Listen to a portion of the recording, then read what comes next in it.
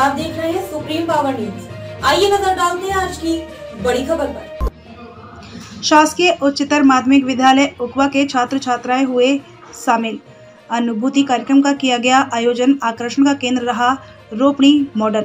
Madhya Pradesh eco development board Bhopal के निर्देशन में प्रतिवर्ष मध्य प्रदेश के सभी वन मंडलों में अनुभूति कार्यक्रम का आयोजन किया जाता है, जिसके अंतर्गत प्रत्येक परिक्षेत्र अंतर्गत स्कूलों से 250 बच्चों को अनुभूति कैंप में ले जाकर बच्चों को वन एवं वन्य प्राणियों की जानकारी दी जाती है। इसी कड़ी में उत्तर सामान्य वन मंडल बालाघाट अंतर्गत वन परिक्षेत्र उत्तर उखवा सामान्य में द्वितीय अनुभूति कार्यक्रम किया गया, जिसमें वन परिक्षेत्र उत्तर उकवा सामान के आमा नाला जलाशय में अनुभूति कार्यक्रम का आयोजन दिनांक 11 एक 2023 को किया गया, जिसमें शासकीय उच्चतर माध्यमिक विद्यालय उकवा तथा शासकीय उच्चतर माध्यमिक विद्यालय उकवा के कुल 132 बच्चे शामिल हुए।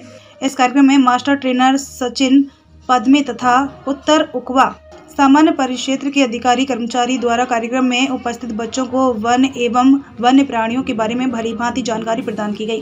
कार्यक्रम की रूपरेखा शासन के निर्देशानुसार सर्वप्रथम पक्षी दर्शन, तितली दर्शन का कार्यक्रम रखा गया, जिसमें बच्चों को जलीय पक्षी, स्थलीय पक्षी के बारे में जानकारी देते हुए दूरबीन की सहायता से दूर तक दिखने वाले पक्षियों को दिखाया गया। तितलियों के भी विभिन्न रूपों का वर्णन करते हुए तितलियों का अंडे से लेकर पूर्ण तितली बनते तक की स्टेज के बारे में जानकारी दी गई। साथ ही मधुमक्खी तथा तितली और पतंगा के बारे में भी जानकारी दी गई। वन विभाग द्वारा तैयार की गई प्राकृतिक पथ पर अनेक विभागीय गतिविधियों का प्रदर्शन किया गया, जिसमें वन विभाग द्वारा तैयार किया गया जंगल का सीसीटीवी जिसे पीवीआई प्रेशर इंप्रेशन पैड कहते हैं। यह जंगल में होने वाली सभी गतिविधियों से वन विभाग के कर्मचारियों को अवगत कराता है। उसी के साथ वन विभाग में किए जाने वाले कार्य जैसे कि पौधा अंगीकरण, विकृत पौध कटाई, सिंगलिंग कार्य, चेक डैम निर्माण कार्य, ठूंठ ड्रेसिंग, झरिया निर्माण कार्य के साथ साथ बना भीरा, सफ़ाई तथा पेड़ पौधे वन्य प्राणी की जानकारी दी गई तथा वनों के सुधार एवं वनवर्धन हेतु, विशेष कार्य करने हेतु बच्चों से निवेदन किया गया। सभी बच्चों को यह संदेश दिया कि अपने गाँव, घर तथा परिचितों को यह संदेश पहुंचाना है। वन एवं वन्य प्राणियों की रक्षा करना, वनों की सुरक्षा करना है। बच्चों को वन तथा राजस्व की सीमा को अलग करने वाले मुनारे तथा ट्रांजेक्ट लाइन की जानकारी भी दी गई। बच्चों को बताया गया कि वन विभाग प्रत्येक चार वर्षों पर ट्रांजेक्ट लाइन पर मांसाहारी तथा शाकाहारी जानवरों की आकलन करता है। इसी तारतम्य में विभाग 2018 में वन्य प्राणियों का आकलन किया है। और उसके बाद 2022 में भी वन्य प्राणियों का आकलन कर चुका है, किंतु 2022 का आंकड़ा कुछ समय बाद प्राप्त होगा। 2018 के आकलन के अनुसार हमारे मध्य प्रदेश में सबसे ज़्यादा बाघ 526 तथा तेंदुआ 3418 पाए गए हैं, जिसके कारण हमारा राज्य टाइगर स्टेट तथा लेपर्ड स्टेट के दर्जे से समाप्ति हुआ है। साथ ही हमारे मध्य प्रदेश को भेड़िया स्टेट, गिद्ध स्टेट का भी दर्जा प्राप्त है। हमारे मध्य प्रदेश में एक उपलब्धि हाल ही में श्री नरेंद्र मोदी जी के जन्मदिन के अवसर पर कुनून राष्ट्रीय उद्यान में 17 सितंबर 2022 को आठ चीता सफलतापूर्वक पुनर्स्थापना किया गया है। आपको बता दें कि इससे पूर्व उन्नीस सौ बावन में कुनो राष्ट्रीय उद्यानों में आखिरी बार चीता को देखा गया था। उसके बाद से यहाँ से चीता विलुप्त हो गए थे। पुनः स्थापित करने के बाद चीता अपने आवास में पुनः लौट आए हैं। यह हमारे लिए बहुत गर्व की बात है। साथ ही सभी को यह संदेश दिया गया कि प्रकृति को स्वच्छ और सुंदर बनाने हेतु पॉलीथीन से मुक्त रखना है। पॉलीथीन युक्त, प्लास्टिक युक्त थैलियाँ तथा डिस्पोजल का प्रयोग पूर्णतः बंद करना है और पर्यावरण को सुरक्षित रखना है। पर्यावरण सुरक्षित रहेगा तो हम सुरक्षित रहेंगे।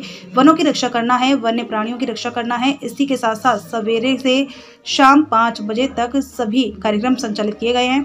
इको अनुभूति में चित्रकला तथा पेपर लिया गया, जिसमें प्रथम पुरस्कार कुमारी स्नेहा घुले, द्वितीय पुरस्कार कुमारी मुस्कान कोलते तृतीय पुरस्कार गौरव विसेन को दिया गया।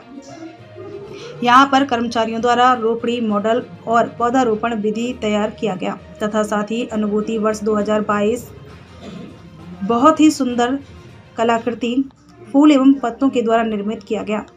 दिन भर के कार्यक्रम के पश्चात बच्चों को पुनः स्कूल सकुशल छोड़ा गया। हमारे बाल हमारे कितने महत्वपूर्ण है। और उससे एक बात यह भी पता चलती है कि जिस तरह ये अनुभूति कैंप रखा गया है, उस तरह जैसे अगर ये कैंप और रखा गया और बच्चों के लिए स्पेशली अगर ये रखा गया है तो बच्चे ये सीख रहे हैं कि हमें अपने पेड़ों को बचाना है, अपने पेड़ों की रक्षा करना है, क्योंकि बच्चे भावी पीढ़ी है। अगर बच्चे सीखेंगे तो आगे वाली पीढ़ी अवश्य सीखेगी, अवश्य जानेगी कि पेड़ों को बचाना है, पेड़ों की रक्षा करना है, क्योंकि पेड़ हमारे जीवन के लिए अति आवश्यक है। बच्चे ये सीख रहे हैं तो हम ये है कि हम तो पूरा ट्राई करेंगे कि आगे वाली पीढ़ी कि पेड़ बचाए Yes. टीमों के द्वारा यहाँ पे लाया गया है। इसके वनों के जो होने वाले लाभ है और वन जीवों से होने वाले लाभ है, उसके बारे में बताया गया है। और वन्य जीव हमारे जीवन में कितने लाभकारी है उससे हमें क्या क्या कुछ नहीं मिलता है। और वनों से हमें वनों के द्वारा जो हमारे द्वारा छोड़ी जाने वाली कार्बन डाइऑक्साइड गैस रहती है। और सबसे बड़ा जो जहरीली गैस रहती है, वो हमारे मानव के लिए हानिकारक होती है। उसको पौधों के द्वारा अवशोषित कर लिया जाता है और हमें जो गैस की ज़रूरत होती है ऑक्सीजन गैस हमें प्रदान की जाती है बहुत बड़ी बात है पेड़ों के द्वारा हमें प्राप्त होती है।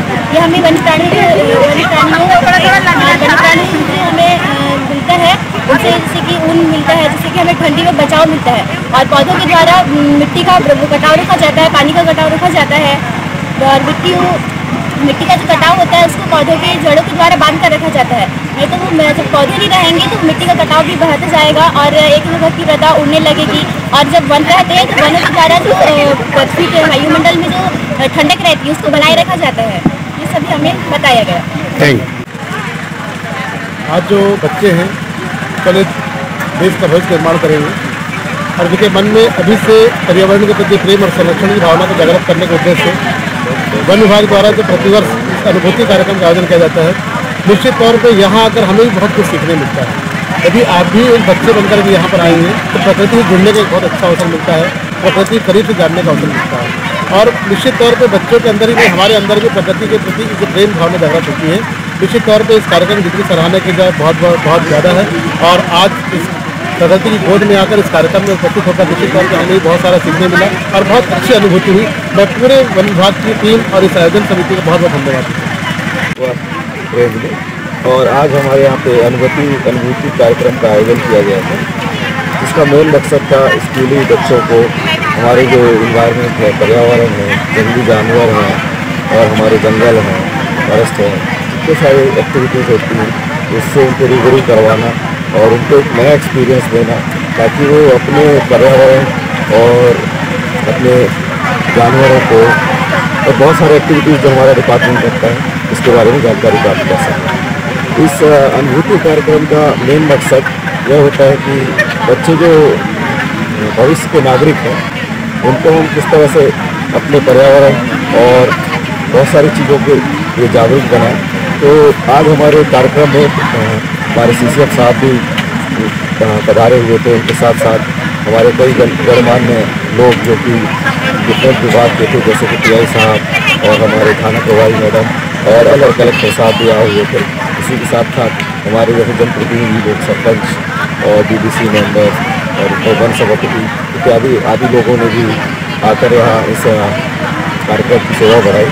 इसके लिए हम सभी का शुक्रिया अदा करते हैं। और आशा करते हैं कि भविष्य में भी इस तरह के कार्यक्रम हम आयोजित करते रहें, ताकि हमारे बच्चों को एक अच्छे अच्छे जीवन एक अच्छा जीवन जीने में मदद कर सके।